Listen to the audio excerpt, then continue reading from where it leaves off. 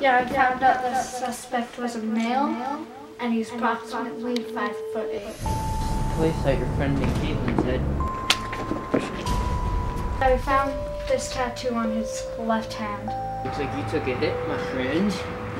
Thanks for the help. I want you to find out where Taylor lives, and maybe we will be able to find clues there.